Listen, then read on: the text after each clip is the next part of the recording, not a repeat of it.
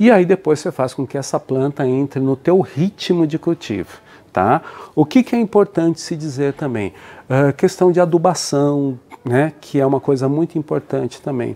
Normalmente, ninguém tem o mesmo sistema de, de adubação. Tá? Nem eu para uma outra pessoa, ou mesmo um orquidário comercial para vocês robistas. O que, que acontece? Muitas vezes essa planta ela vem é, num sistema de adubação diferente daquele que você faz também. Tá? Então isso é importante porque muitas vezes ela pode sentir isso. Tá?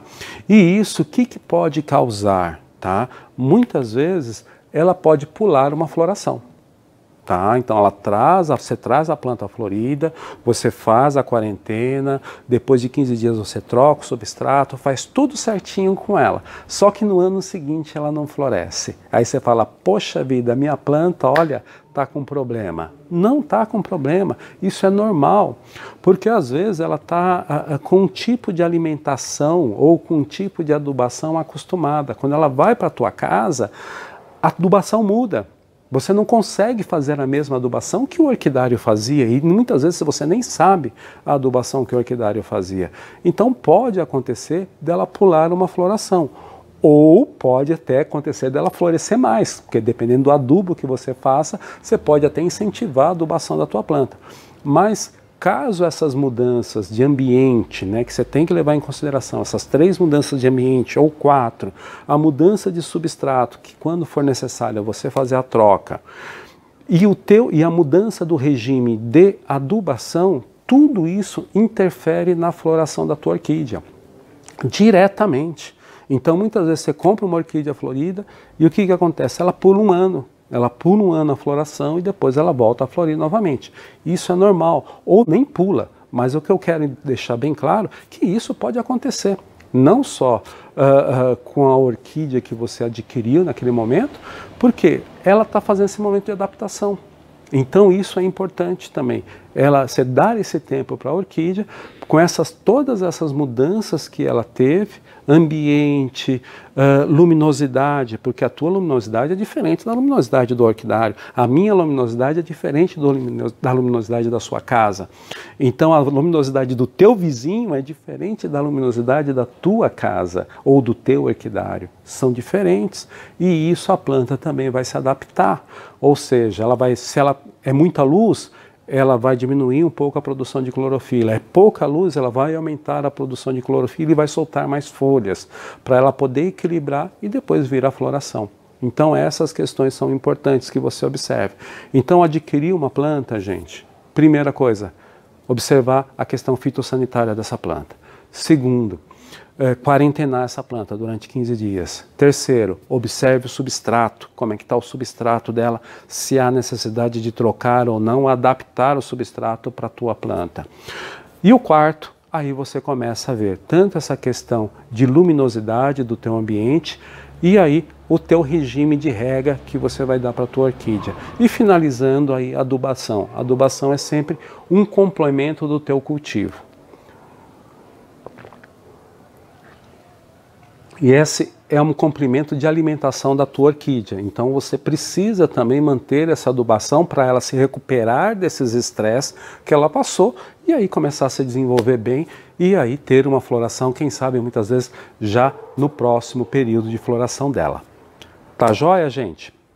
Bom, uh, feito isso, todo esse processo, uh, o que, que é importante agora? Se observar observar a tua planta como que ela vai reagir ao teu sistema de cultivo, a tua forma de cultivo, tá? Porque aí ela tem esse tempo todo aí de desenvolvimento que ela tá no teu orquidário e aí, na maioria das vezes, é lógico que ela vai se desenvolver e vai crescer bem. Mas se você observar que ela não tá, você fazer as correções que sejam necessárias, de luz, de rega, de água, de adubação, até mesmo de plantio, né?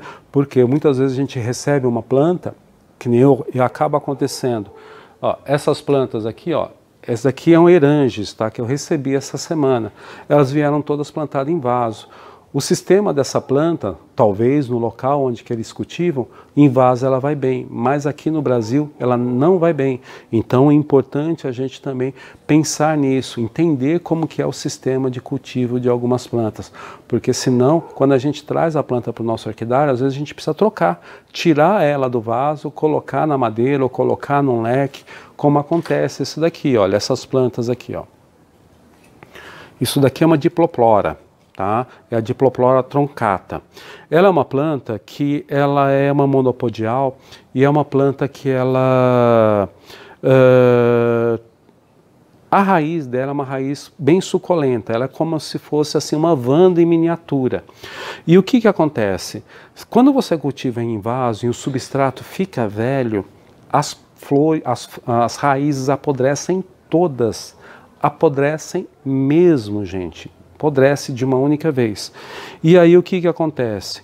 Ela estava plantada em vaso. Eu tirei do vaso, plantei numa mandeira de sanção do campo. E aí, olha, as raízes estão todas bonitas.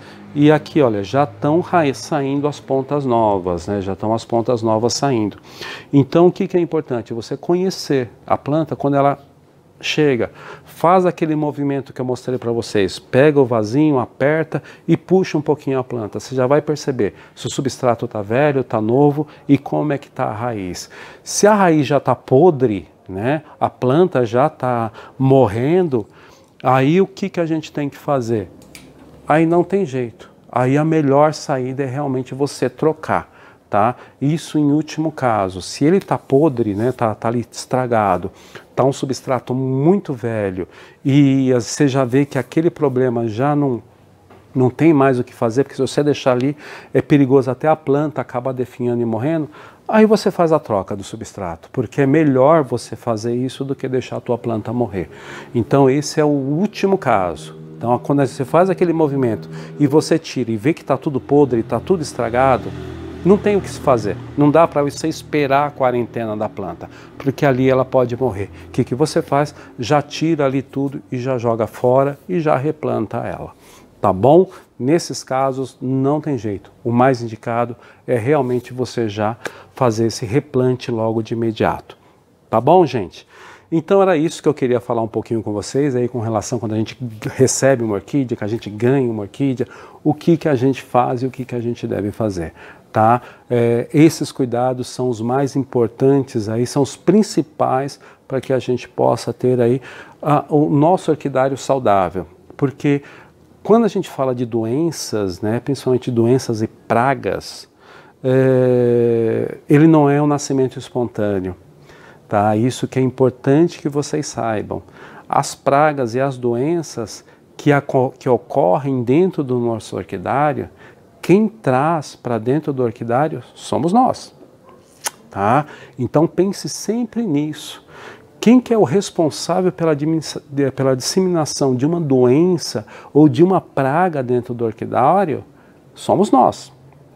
Então, se nós não tomarmos esses cuidados, quando a gente adquire uma planta, o que vai acabar acontecendo? A gente que vai eh, infectar todo o nosso orquidário e muitas vezes matar várias de nossas plantas. Por quê? Porque nós não tivemos cuidados com aquilo que a gente traz para dentro do nosso orquidário. Então, observem muito isso. Então, tenham sempre em mente: quem é responsável pelo nosso orquidário somos nós. Quem é responsável pela disseminação ou pela saúde do, do, de disseminação de uma doença ou de uma praga dentro do orquidário não é a orquídea, somos nós. Então, a gente não tomar esses cuidados, quando a gente adquire uma planta, depois que a doença estiver instalada no orquidário, aí para você cuidar disso é muito mais custoso, oneroso e isso muitas vezes pode fazer com que você perca várias plantas até você conseguir uh, eliminar essa praga. Tá joia, gente? Bom, é isso que eu queria falar com vocês. Vou mostrar mais algumas plantas e ali vamos ver se a gente consegue, se tem alguma dúvida, se tem alguma coisa que ficou ali que a gente ficou sem responder e eu poder uh, passar para vocês. O que eu queria mostrar são alguns pleurotálios que eu tenho aqui. Pleurotálios que a gente chama tudo ali dos pleurotalidines, né? Mas é do gênero Scaphocephalum. Eu tenho aqui três. Uh, esse daqui é o Shortfolium, Shortfolium, Short, Shortfolium. Ele está aqui bem florido, olha. Ele tem uma, flor, uma flor muito grande, olha só. Que ele é bem bacana, olha como que ele é. Uma flor bem bacana e uma flor bem grande. Ela é rosada e ele tem aqui esses dois chifrinhos, né? Que são ali as sépalas dela, que tem esse contorno, olha, fica muito bacana, né? Então ele lembra aí uns, uns dois chifrinhos, né? Olha só como que ele fica. Muito bacana, né? E é uma flor grande até em relação à planta. Tem esse outro aqui, que esse daqui é o breve, né? Também ó, cheio de florzinhas, né? Não vou nem colocar a mão para vocês conseguirem visualizar melhor. Olha aqui, ó. Tem uma, duas, três, quatro, cinco, seis, sete, sete hastes florais aí. Olha só quantas florzinhas. Esse daqui é o Scaphocephalum breve, né? Então ele está aqui, olha, várias plantas. E essa daqui também tem ocorrência no Brasil. É uma planta bem interessante por esse motivo, né? Então, Scaphocephalum breve. Então, olha aqui, uma planta bem bacana também. E ele da mesma forma, tá? Ele tem ali aquela as duas as sépalas dele ali ficam como se fossem dois chifrinhos ali, ó. Muito bacana, né? E esse daqui já é aquele que eu, que eu mostro para vocês, que é o verrucosum, né? Então esse daqui é o verrucosum. Olha só, tamanho dessa haste floral. Olha, essa daqui é uma haste floral, tá? Olha só. E ela tá viva, olha aqui, ó. Tá aqui com algumas flores abertas, ó. Esse daqui é o Scaphocephalum verrugoso. O que eu acho bem interessante é essa haste floral. Olha o tamanho, começa aqui, ó, e vai até aqui, ó. Essa é uma haste floral dele. Ele vai abrindo sequencial. Essa daqui até bem longa, ó, muito grande. Né? Então esse daqui é o Scaphocephalum, Scaphocephalum verrucosum. Deixa eu deixar ele aqui do lado. E aqui uma restrépia, restrépia símbula. Olha só como que ela tá. Essa daqui é uma planta minha da coleção. Olha, também cheia de florzinhas, né? Olha só que bacana né? Então tem mais aqui do lado e muitos botões ainda para abrir, né? Então essa daqui é a Restrépia símbula, né? Muito bacana também. Deixa eu colocar ela aqui e mostrar aqui só esse Phalaenopsis, né, que esse daqui é o Phalaenopsis amabilis, né, então aquele que normalmente é utilizado muito para fazer hibridações, né, por causa pelo tamanho da flor, né, é uma flor grande, branca, né, e bem armada, né, mas essa daqui é a espécie, é o Phalaenopsis amabilis. Diferente, vocês podem ver que até a folha dele é diferente, né, é uma folha aí fina, estreita, né, não é aquela folha larga que normalmente tem nos uh, Phalaenopsis comerciais. Né? Então, essa daqui é a espécie Phalaenopsis amabilis. Bom? Bom, gente, deixa eu ver se eu consigo. Agora já mostrei bastante as plantas para vocês. Deixa eu ver se eu tenho alguma pergunta aqui que a gente possa responder. Vamos lá, deixa eu ver se tem alguma coisa. Eu vou rolar aqui um pouquinho, tá, gente? Vamos ver se a gente consegue ver algumas perguntas aqui que a gente tenha. Hum, tá, tá uh, orquídeas, orquídeas conhecer e cultivar. Uh, casos que podem ocorrer, uh, casos, que, ganhei uma, casos que podem ocorrer. Ganhei uma orquídea já prejudicada sem raízes, por exemplo, mas quero apostar nela. Como tentar nesse pré-inicial até entrar para junto de outras plantas, tá joia? Então ela comprou uma ela ganhou uma orquídea, ou recebeu uma orquídea que ela estava já num estado lamentável, né? Então ali sem raízes, o substrato já estava prejudicado e a planta muito prejudicada. O que, que você vai fazer? É justamente essa questão. A planta está estressada, então ali não tem mais o que fazer. O que, que você pode fazer? É, uma, é sal, tentar salvar a planta. Então aí você retira essa planta da onde que ela está plantada, faz toda a limpeza das raízes mortas, limpa, tira, corta todas as raízes mortas, deixam só as raízes vivas, uh, troca o substrato, coloca um vaso novo, limpa essa planta, lava ela, né? não precisa nem escovar nem nada, a não ser que tenha alguma doença, mas se não tiver, você só lava, tira esse substrato velho, corta as raízes velhas, planta essa planta novamente, tutora se for necessário, como ela não vai ter raiz, provavelmente você vai ter que tutorar coloque no substrato novo e coloque ela também em quarentena. E ali você vai tendo alguns cuidados mais especiais com ela para que ela possa se desenvolver. Então é isso. Se for o caso e a planta já está definhada, já está prejudicada, faça dessa forma. Tá? É o que normalmente eu faço, já fiz isso, já mostrei para vocês o que, que acontece. Então a gente já tem que trocar o substrato. Não tem jeito, a planta já está morrendo. Se você deixar ali, ela termina de morrer. Então, para você tentar salvá-la, o que, que você faz?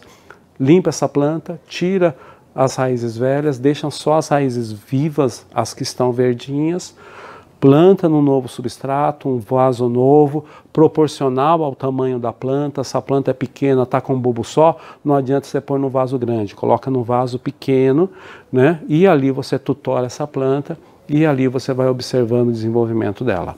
Tá joia? Deixa eu ver aqui. Uh, tal, tal. Respondi. Deixa eu ver se eu tenho aqui mais alguma pergunta. Uh,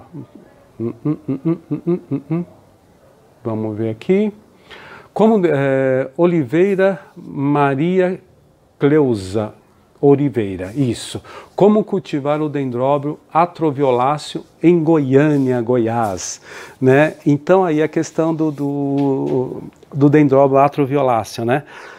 Que, que acontece, gente? É, a gente tem que, quando a gente vai receber uma planta, então os dendróbios, nem todos os dendróbios, eles suportam ou gostam de uma temperatura muito quente, então é isso que a gente tem que tomar em mente.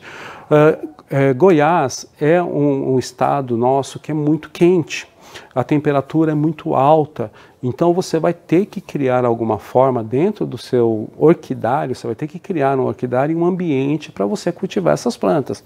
Se você não, não adianta eu falar para você, olha, você cultiva em vaso, ou vai cultivar em madeira, ou vai, não, é o ambiente que vai mandar. Então você vai ter que criar um orquidário onde que você possa ter aí um, um ambiente com um pouco mais de umidade. Normalmente o cultivo você vai fazer ele dentro de vaso, né, com um substrato um pouco mais uh, uh, seco, né, que a gente diz ali, porque se você colocar um substrato com muita umidade, principalmente nessas regiões quentes, vai cozinhar a planta. Né? Porque você imagina é, temperaturas aí altíssimas, acima dos 30 graus, um substrato muito úmido, o que, que acaba acontecendo? Cozinha, né? Essa raiz vai cozinhar. Então você pode ter aí alguns tipos de substrato que você vai utilizar uh, como casca de pinos, casca de pino triturada. Se você quiser colocar esfagno, mas coloque uma quantidade mínima de esfagno, porque se manter muita umidade com temperatura muito alta, essa planta cozinha. Então é isso. Primeiro, pense na estrutura, né? Para você ter uma estrutura onde que você possa cultivar essa orquídea. Caso contrário, você não vai ter sucesso. Infelizmente é isso, pela questão do substrato substrato e o ambiente, porque tem planta que não suporta esse calor muito grande de, de Goiás. Então, nem tudo que a gente quer a gente vai conseguir cultivar. A gente tem que procurar entender um pouco a planta. Não é assim, a gente vai trazer, ah, eu quero cultivar essa planta e eu vou ter que consigo cultivar ela em tal região. Nem sempre isso é possível. Por quê? Dependendo uh, uh, de como essa planta, às vezes ela não suporta esse tipo de ambiente. Tá joia? É isso que você tem que observar. Tá bom? Uh, Maria Cleusa, um abraço. Deixa eu só ver se tem mais alguma pergunta. Uh, Maria Cleusa também está perguntando aqui qual o ambiente para Pleurotalis falangífera. Uh, qual o melhor substrato mora em Goiânia, Goiás? É, então, vocês vejam, o falangífera é uma planta de ambiente é, temperatura média né, é, do, vamos colocar assim, temperatura quente intermediária, frio intermediário. Já para você conseguir cultivar em Goiânia, já vai ser um pouco mais difícil. Você está entendendo? Então, isso que a gente tem que tomar um pouco de cuidado. Qual tipo de planta que você vai levar para o teu orquidário? Então, fica mais fácil quando você for procurar plantas, Maria Cleusa, você procure plantas de ambientes quentes, porque nessas exposições, aí volta a falar na exposição, às vezes o orquidário que está levando planta aí para a tua exposição, para a tua cidade, ele vem de uma região de cultivo de região fria. E aí ele leva a planta para a exposição e vende, você leva para o teu orquidário. Só que essa, será que essa planta ela vai aguentar esse cultivo no ambiente quente? É o que normalmente acontece. Então, por isso que eu te falo, procure plantas que gostem de ambiente quente, tá? Que é o caso que você tem aí você vai ter muito mais sucesso procurando plantas que sejam de quente intermediário para o quente e evite plantas que vão mais para o frio, porque isso você vai ter problemas, você, a, a dificuldade. As plantas sempre vão estar estressadas, muitas vezes não vão se desenvolver bem e você não vai ter uma floração que você goste para a sua orquídea. Tá joia? Então, é isso que eu acabo, que eu te sugiro. Procure plantas sempre de um ambiente mais quente, porque isso você não vai ter é, problema para você. Tá joia? Deixa eu só voltar aqui, só um minutinho. Uhum. Argentina, um abraço aí. Mar Ale Turco, um grande abraço aqui do Brasil para vocês aí da Argentina. É, queria conhecer. É, tá, tá. Jardim Jardim de mil cores. Comprei um Tricoglotis brachiata e estou com dificuldade em relação à iluminação. Ele gosta de muita iluminação e as raízes podem ficar aéreas. Ele veio com substrato. Então vamos lá. Jardim de Mil Cores, né? É o Tricoglotis brachiata. Ele é um cultivo, ele é muito parecido com Vanda, tá? Então as raízes podem ficar soltas, podem ficar aéreas, não tem problema nenhum. Às vezes, assim, é, no cestinho, né? Que esses cestinhos de Vanda, né? Aqui, esses cestinhos de vanda, o que, que acontece? Às vezes as pessoas põem um pouco de substrato aqui, né, um pouco de esfagno.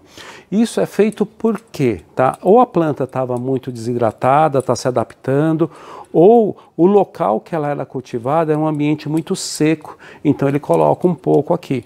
Mas normalmente você pode cultivar ela, se o teu ambiente tem bastante umidade, para cultivo de vandas, então você pode deixar as raízes aéreas sem problema nenhum. E ela é uma planta que ela precisa de luminosidade, tá? Então luminosidade, se você cultiva vanda, é uma luminosidade muito parecida com o de vanda, em torno aí de 60% de filtração, né? E aí você consegue cultivar. Então pense nela como uma planta que precisa de luz. Se ela não tiver luz, tá? Ela não floresce no ano seguinte ela é uma planta um pouquinho exigente com relação à luminosidade. Então, no caso da Trichoglottis brachiata, ela precisa de luz. Então, pense nisso. Uh, coloque ela sempre na parte mais alta, e ali você, no caso do substrato, eu não sei se ela veio num vaso ou veio nessa mesma cestinha. Se ela veio na cestinha, o teu ambiente tem uma certa umidade, você pode tirar esse substrato, não tem problema nenhum. Ou se você preferir manter, mantenha, mas o que, que vai acontecer? Se ele for em excesso, ela vai começar a soltar raízes pela parte, pela cana dela, né? E que ela vá se desenvolver e vai crescer normalmente sem problema nenhum tá joia? Então são essas coisas que você tem que observar no caso do Trigoglotis brachiata. Ele precisa de luz, tá? Em torno de 60% e, se possível, coloque ela na parte mais alta, a parte superior a, a, a, folha dela ela fica com um verde um pouco mais claro, não chega a ficar amarelo. Se ela ficar amarelada, sinal que está sendo muita luz, então de, coloca um pouquinho menos, tá joia? Então ela tem que ficar com um verde, um verde claro. Não pode ficar um verde muito escuro e nem um verde amarelado. Então é isso que é, é ali que você consegue ter um equilíbrio com o Trichoglotis brachiata, tá bom? Vamos ver se a gente tem mais alguma coisa aqui que a gente possa responder. Ah, iluminação aéreas, raízes aéreas, como eu te falei. Bom, é isso daqui. Deixa eu só ver se tem mais alguma coisa que a gente possa responder. Ô Flávio Bueno, boa tarde, um grande abraço aí para você. Deixa eu só finalizar aqui. Bom, gente, então caso aí, vamos finalizar aqui a nossa live de hoje, né? É... Ah, o Dendróbio Marcos, Ô Marcos, tudo bom? Então, se você quiser o Dendróbio Compacto, é só entrar no meu site, ele está lá disponível. Ou se quiser, me passe o teu CEP, teu CEP né? No meu WhatsApp 11 991878965, que aí eu monto o orçamento para você, tá? Deixa eu ver se ficou aqui. Boa tarde, boa tarde. Pra Diego, ô Diego, tudo bom? Como é que você tá? Espero que esteja tudo bem aí em Pernambuco. Ah, olá, Roberto. Deixa eu ver aqui. Obrigado, um abraço. A esposa hoje não está aqui comigo. Quem que está comentando aqui? Eu cuido de conhecer e cultivar. É, hoje eu estou sozinha. Minha esposa ela foi passear um pouquinho, o Advar. Um grande abraço para você. Deixa eu só ver aqui. Bom, é isso, gente. A gente está finalizando hoje às 4 horas, né? Então, se a gente, caso ficou alguma dúvida, alguma questão sem responder, no caso do Instagram, me mande pelo direct, né? E aí a gente, durante a semana, eu procuro responder para vocês e no Facebook, uh, me mande pelo Messenger. E convido vocês também a visitar o meu orquidário, o meu site, né? www.orquidariorobertomartins.com.br e também Uh, caso uh, uh, tenha alguma dúvida queira me mandar pelo WhatsApp, também pode me mandar. Então, no meu WhatsApp é 11 9 9187 8965. Um grande abraço a todos e aí para vocês também uma ótima Páscoa. Um grande abraço. Até semana que vem, gente.